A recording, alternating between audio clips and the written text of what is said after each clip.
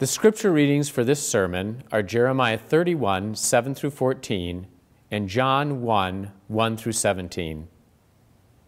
Friends in the Minnesota Conference, I greet you in the grace of our Lord Jesus Christ, the love of God, and the peace and power of the Holy Spirit. I greet you at the beginning of a new year, one in which we hope to see the end of a pandemic and thus the return to the enjoyment of some of the simple pleasures of life. Even amid the pandemic, I hope you found joy during this Christmas season. It is good to be with you, even in this way. I'm David Bard. Some of you have known me for a long time. I was ordained a deacon in the Minnesota Conference in 1984 and an elder in 1986.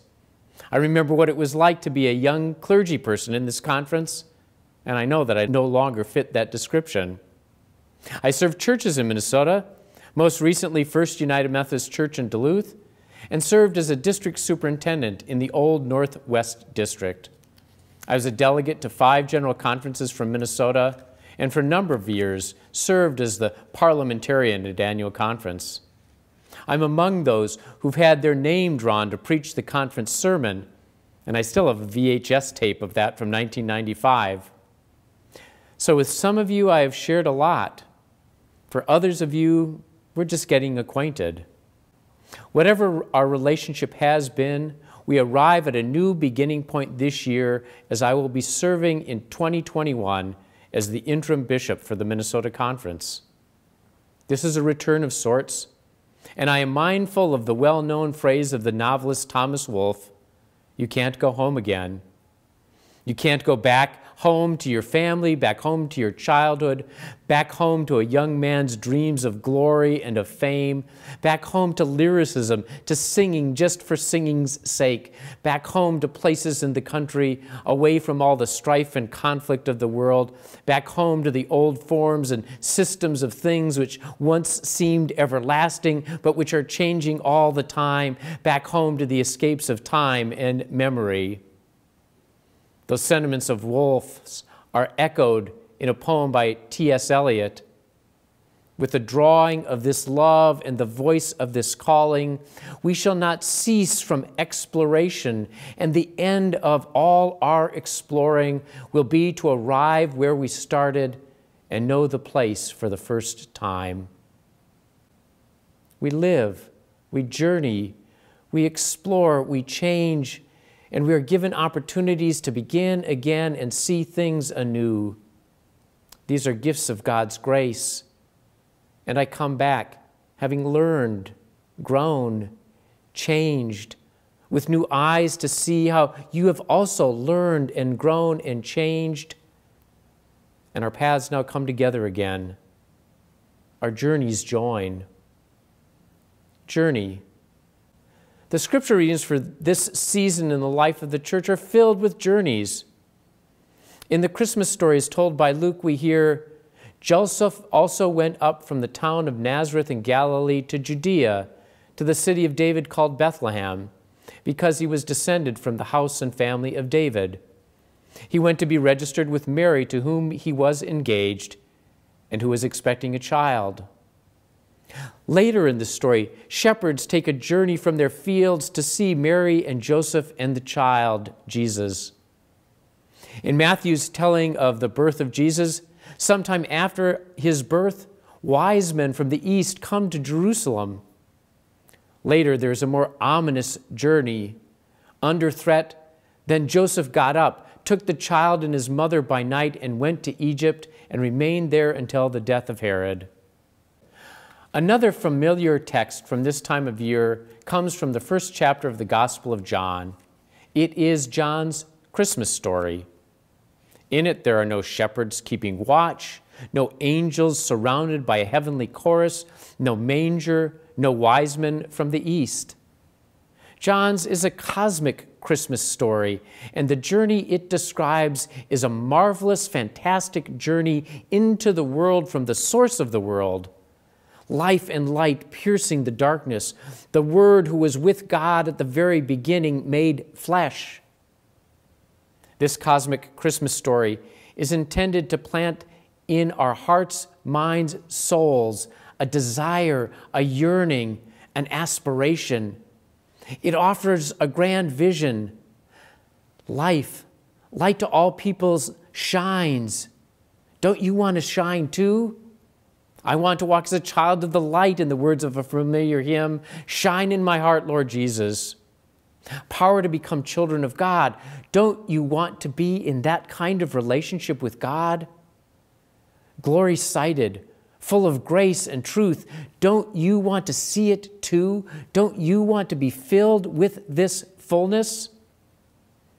In her book, Aspiration, the philosopher Agnes Callard writes that when one aspires, she senses that there is more out there to value than she currently values, and she strives to see what she cannot yet get fully into view.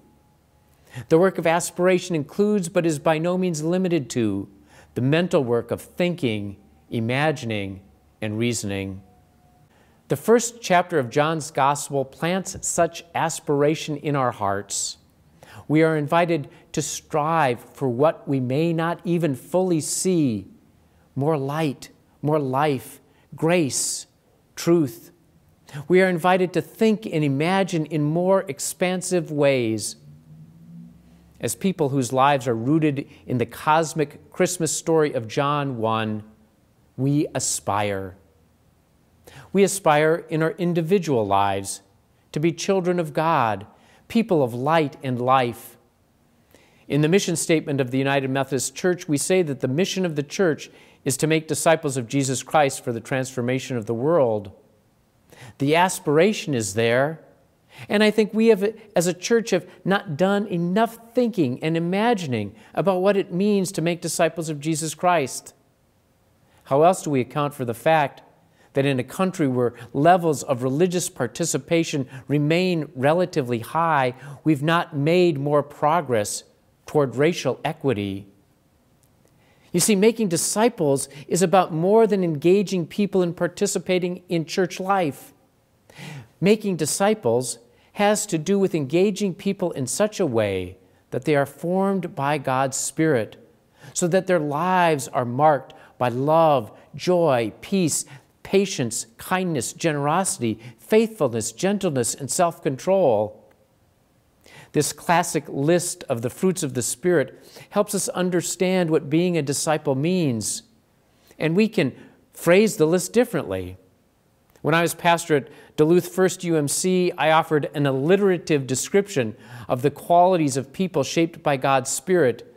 Disciples as people of joy, genuineness, gentleness, generosity, and justice. We need to put a sharper point on the aspiration to be a disciple, a person of the light.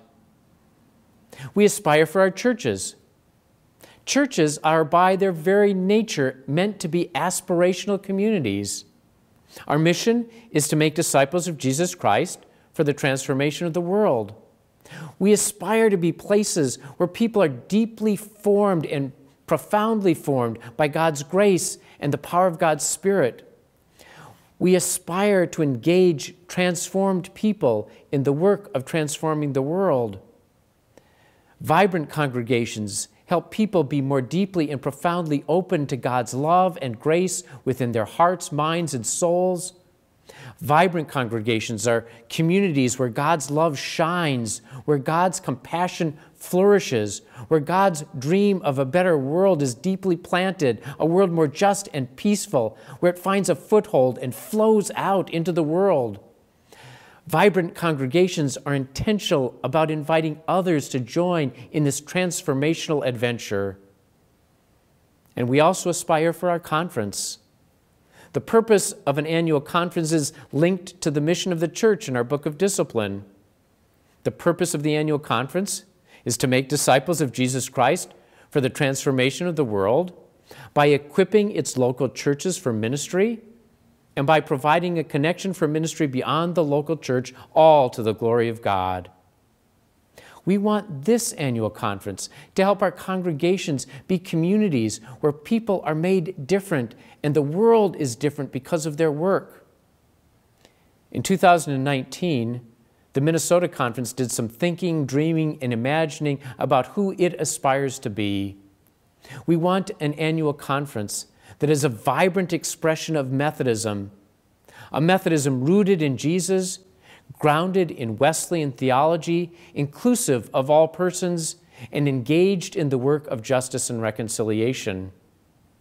We understand the church as created to participate in God's redemptive work in the world. That redemptive work is helping people grow in love of God and neighbor, reaching new people with the good news of God's healing and redeeming love in Jesus Christ, and working with God and others to heal a broken world.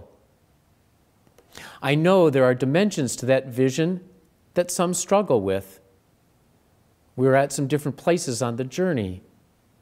Yet, as a conference, we are committed to the proposition that we are better together, that regardless of what the future of the denomination may bring, we have work to do together in ministry now.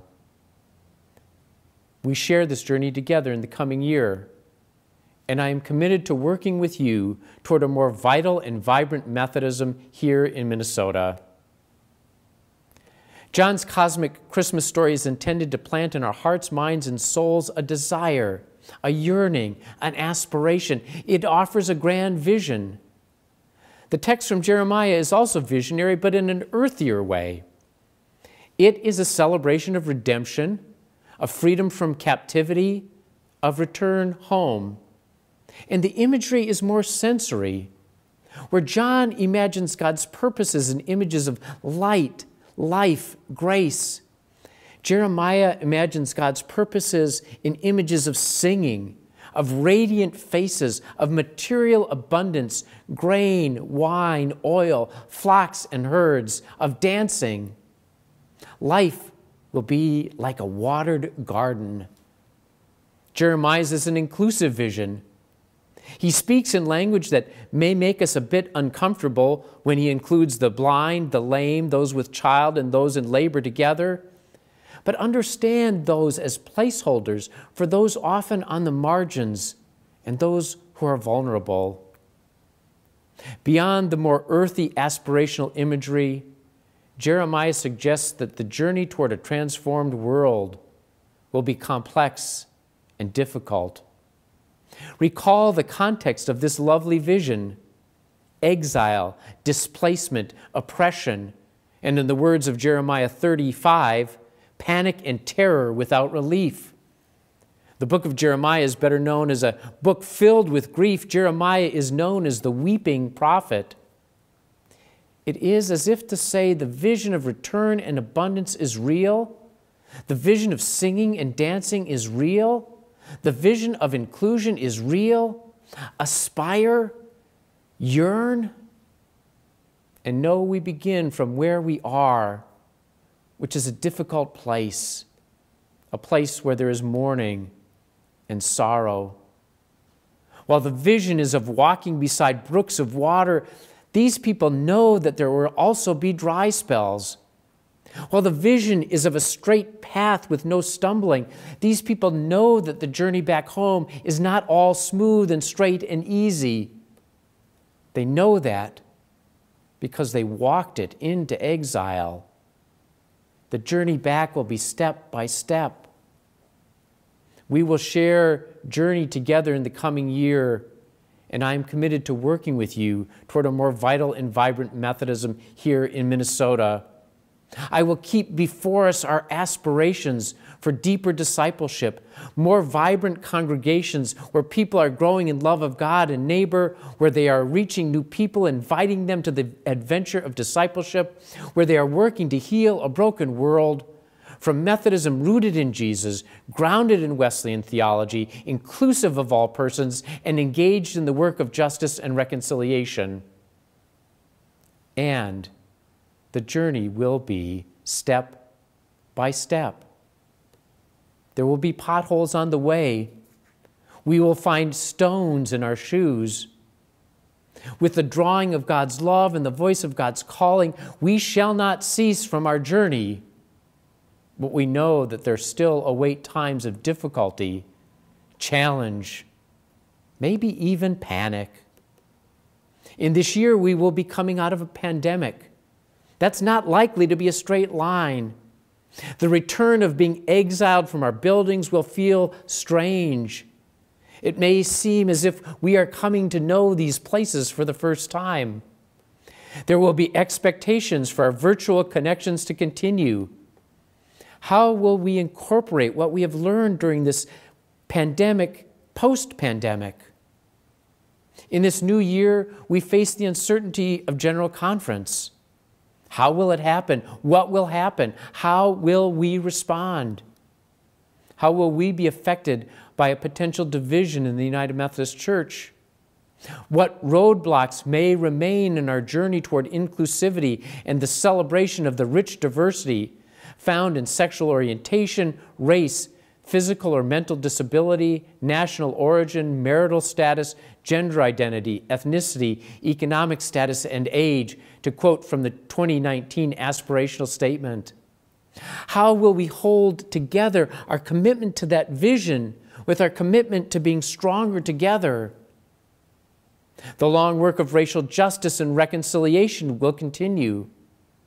It was here in Minneapolis that we confronted again the reality that this work, which has had so many beginnings, also stalls and even goes in reverse. How will we remain vital and vibrant in a cultural context where no religious affiliation is the fastest growing religious category? How will we work together when no bishop has ever worked in this way with Minnesota and Michigan before?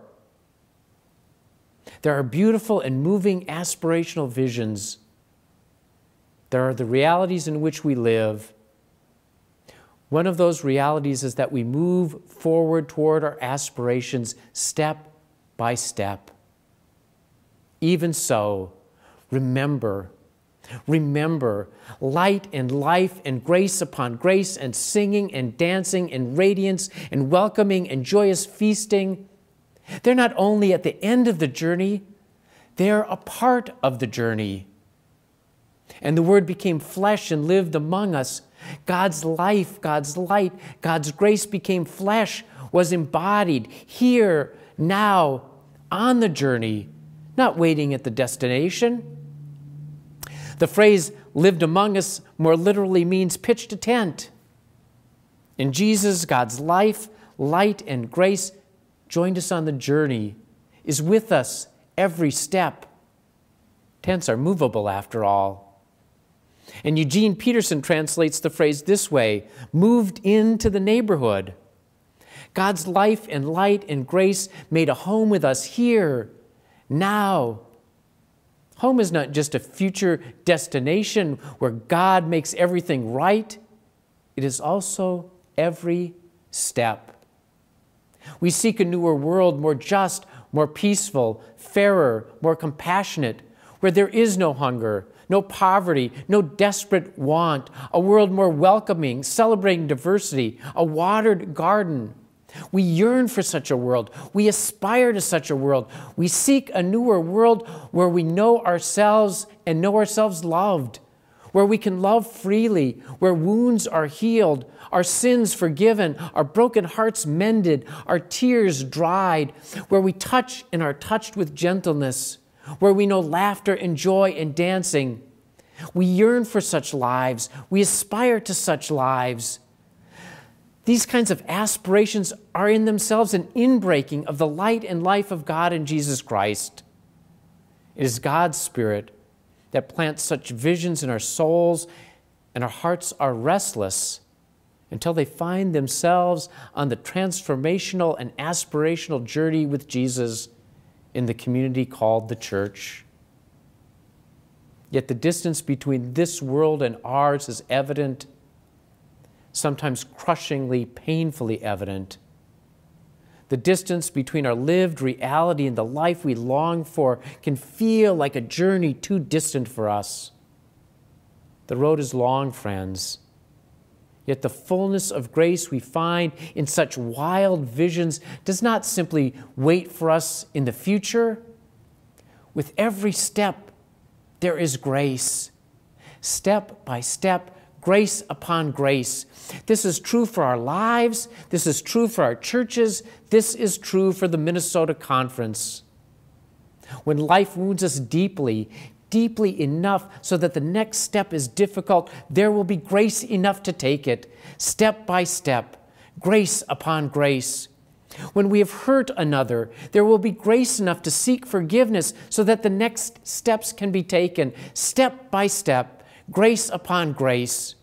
As we re enter our buildings, reimagine ministry that is both in person and online, there will be grace enough, step by step, grace upon grace.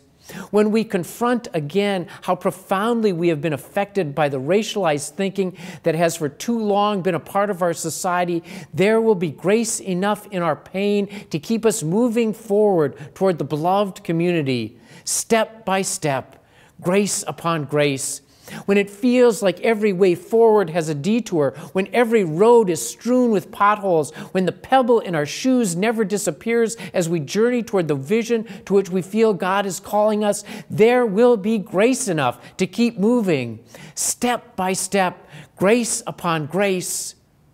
And when we are even unsure of the next step, of what's next in our personal discipleship journey, with what needs to be done to enhance the vibrancy of our congregation, with holding together in our conference, commitment to our inclusive vision, and commitment to working together, friends, there will be grace enough. Step by step, grace upon grace, step by step, grace upon grace, until one day, one day, we arrive at that place where God's light illumines everything, where there is life abundant, where we know the fullness of grace, where every path follows a gentle brook of water, where there is joyous singing and dancing, where there is grain, wine, and oil in abundance, where every life is like a watered garden. For now, next steps. And with each step, may we know grace enough in the name and spirit of the one who continues to make a home with us in the neighborhood where we live while inviting us to make it new. Amen.